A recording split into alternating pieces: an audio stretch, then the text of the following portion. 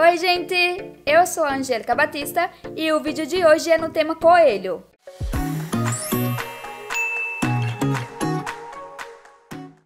E para essa ideia, vamos precisar de um círculo cortado no EVA com a medida de 4 centímetros de diâmetro. Com cola quente eu colo ele sobre outro pedaço de EVA para deixar bem durinho. E eu escolhi duas cores diferentes, mas é opcional.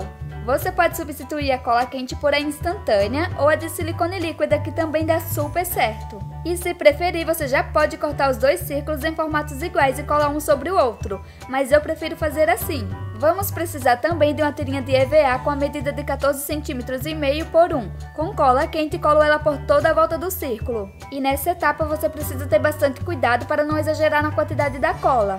Se isso acontecer, o seu trabalho vai ficar grosseiro. Passe camadas bem fininhas. E se você é novo aqui no canal, aproveite para se inscrever e ativar as notificações. Assim você fica sabendo sempre que eu postar um novo vídeo. Agora eu recorto todo o excesso da tirinha e passo cola em uma das laterais para fazer a união dessas duas partes. E se ficar algum excesso da cola, você pode remover usando um alicate. Uso sempre o de cutícula de unha.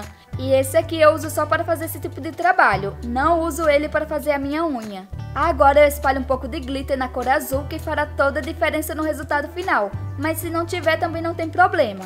Vamos precisar também de um círculo cortado no acetato transparente. Com cola quente, colo ele por toda essa volta. Nessa etapa, o cuidado deve ser dobrado. Tenha bastante cuidado para não exagerar na quantidade da cola. E essa folha transparente você também consegue encontrar facilmente nas embalagens de brinquedo. Agora eu colo miçangas na cor prata por toda essa volta. Assim o acabamento vai ficar bem mais bonito. Como outra opção, você pode colar um círculo cortado no EVA que também fica bem legal separo. Também no EVA cortei no formato da orelha. Com cola quente colo ela sobre outro pedaço de EVA e em seguida recorto todo o excesso. Se preferir, você pode cortar as duas camadas já no formato da orelha e colar uma sobre a outra. Como falei no comecinho do vídeo, eu prefiro fazer assim, mas fica a seu critério. Colo a outra parte da orelha e o molde dela vai estar disponível lá no blog. E o link está aqui na descrição.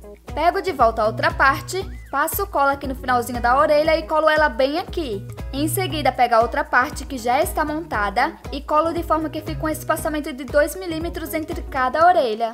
Separo. Vamos precisar de uma tirinha de EVA com a medida de 4 centímetros por 1,5. Uso o lápis para modelar e a cola quente para colar. Em seguida, é só passar cola nessa volta e colar bem aqui no meio. E está pronto, gente! Agora eu já tenho uma decoração mega fofa de coelhinho.